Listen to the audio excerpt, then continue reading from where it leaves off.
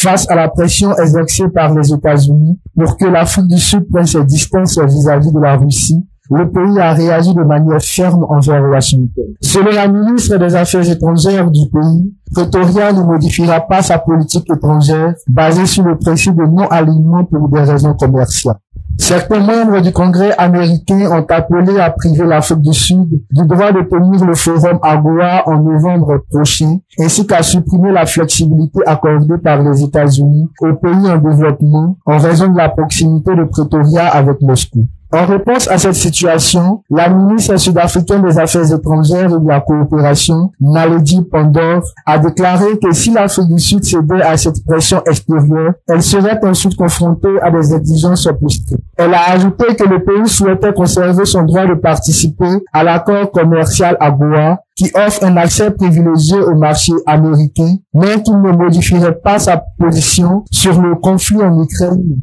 en ce qui concerne sa politique étrangère.